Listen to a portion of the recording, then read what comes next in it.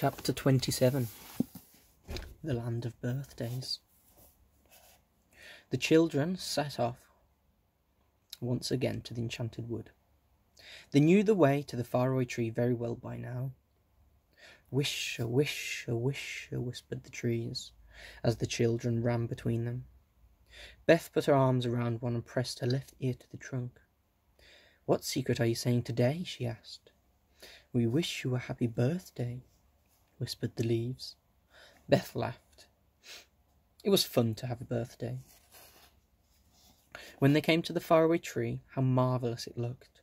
The folk of the tree had bedecked it with lots of lovely, brightly coloured flags because it was Beth's birthday, and it looked simply lovely. Oh, said Beth, pleased. I do feel happy. The only thing I wish is that I had proper party clothes on, not my old ones. But that couldn't be helped. They were just about to climb the tree when Dame Washalot's big washing basket came bumping down onto the end of Moonface's rope for the children to get into. There's a little picture on the last page. Just some buntings.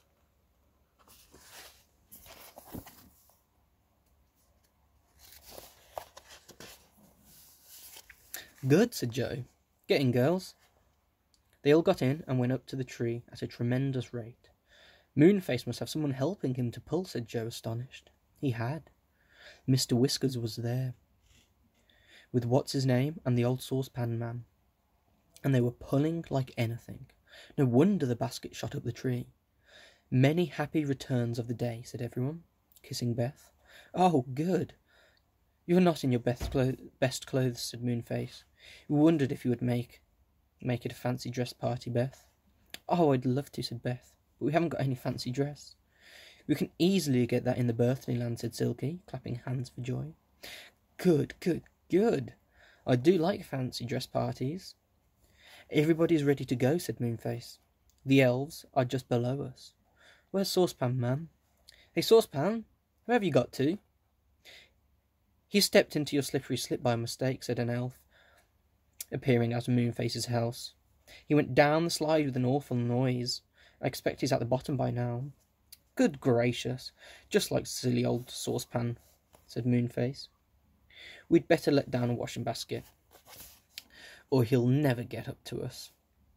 So down went the washing basket again. The old saucepan got into it, and came up with a clatter of saucepans and kettles. Now, are we really all ready? said Moonface. Silky, what's his name, Saucepan, the Angry Pixie, Dame Washalot, Mr. Whiskers, the elves. Goodness, what a lovely lot of people are coming, said Beth, seeing all the elves and the tree folk on the branches below. Is that Dame Washalot? What a nice old woman. Dame Washalot was beaming happily. For once, she was going to leave her wash tub. Going to the land of birthdays was not a treat to be missed. Come on then, said Moonface, and he led the way up the ladder. Up he went, popped his head above to make quite sure that the land of birthdays was there, and then jumped straight into it. Everyone climbed up. That's all, I think, said Moonface, peering down. Oh no, there's someone else. Who is it? I thought we were all here. Goodness, it's my clock, said Silky. The one I got in the land of Take What You Want. Sure enough it was. Ding dong, ding dong, it cried ignorantly, as it climbed up on its flat feet. All right, all right, we'll wait for you, said Silky. Go carefully up the ladder. You weren't really asked, you know. I would love your clock to come to my party, said Beth at once. Come along, clock. Ding dong, said the clock, pleased, and managed to get up the ladder. The land of birthdays was simply beautiful. To begin with, there was always birthday weather there brilliant sunshine, blue sky, and a nice little breeze. The trees were always green, and there were always daisies and buttercups growing in the fields.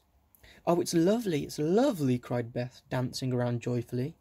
Moonface, what about our fancy dress? Where do we get that? Oh, you'll find everything in the house over there, said Moonface, pointing at a very pretty house. They all trooped over to it. As they went, small brown rabbits hopped out of holes, called a happy birthday to Beth, and popped back inside. It was all very exciting. Everyone crowded around the pretty house. It was full of cupboards and in the cupboards were the most thrilling costumes you can think of. Oh, look at this, cried Joe in delight, as he came across a sailor's outfit with a smart hat and blue. Oh, that had blue, white, and gold on it. Just like the captain of a ship.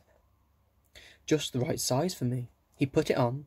Beth chose a, chose a dress like a fairy's, and Franny chose a clown's costume and a pointed hat. She looked just like the real thing. Moonface dressed up as a pirate, and Silky came as a daffodil. What's his name was a policeman, and as for the old saucepan man, he simply could not find a costume to fit him because he was so bumpy with kettles and saucepans. There's a little picture. I assume that's Silky.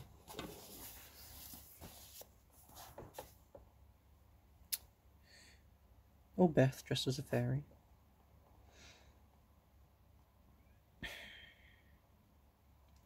Everyone else dressed up and, oh my, they did look convincing. Beth had wings with her dress, but she was disappointed because she couldn't fly with them. How she would love to spread her wings and fly, as the real fairies did.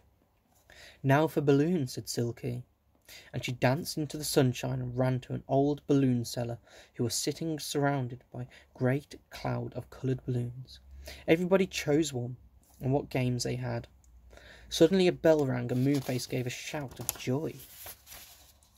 Birthday feast! Come on, everyone! He rushed to a long table set out in the field. Beth ran with the others and took a place at the head of the table. But to her great surprise and disappointment, there was no food on the table at all, just empty plates, cups, and glasses. Don't look upset, whispered Silky. You gotta wish your own birthday feast.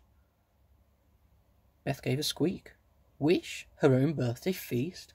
Oh, that would be the best fun in the world. Don't wish for bread and butter, called Moonface. Wish for an ice cream sundae. I like those. I wish for an ice cream sundae, said Beth at once, and immediately the biggest, tallest sundae you had ever saw appeared on one of the empty plates. Moonface helped himself. Wish for strawberries and vanilla ice cream, cried Fanny, who simply loved that. I wish for strawberries and vanilla ice cream, said Beth. An enormous dish of strawberries appeared, with a large tub of vanilla ice cream beside it. And I wish for chocolate cake too, and lemonade, and and fruit salad, yelled somebody. Donuts, cried what's his name. Cheese sandwiches, begged Mr. Whiskers. Ding dong, ding dong, said Silky's clock in the greatest excitement. Everybody laughed. Don't wish for ding dong, said Joe. We've got plenty of those as long as Silky's clock is here. The clock chimed fourteen without stopping. It wandered about, looking as happy as could be. Everyone began to eat. My goodness, it was a wonderful feast. The strawberries and vanilla ice cream and the sundae went almost at once, for Mr. Whiskers and fifty elves decided they liked those very much too. So Beth had to wish for more. What about my birthday cake? she asked Silky. Shall I wish for that too? No, it just comes, said Silky. It will appear right in the middle of the table, just you watch. Beth watched. There was a wonderful silver dish in the middle of the table. Something seemed to be forming there. A curious sort of mist hung over it. The birthday cake is coming, shouted Joe, and everyone watched the silver dish. Gradually, a great cake shape uh, its no. Gradually, a great cake shaped itself there. Oh, a wonderful cake with red, pink, white, and yellow decorations, made from sugar and shaped with little flowers. On top were eight candles burning, for Beth was eight that day. Her name was written in big sugar letters on top. Beth, a very happy birthday. Beth felt very proud. She had to cut the cake, of course. It was quite a difficult job, for there were so many people to cut a slice of cake. This is a wishing cake, said Moonface. When everyone had a piece on the plate. So wish, wish, wish when you eat it, and your wish will come true. The children stared at him in delight. What would they wish? Franny was just holding her cake in her hand, thinking of a wish, when the old saucepan man upset everything. What do you think he did?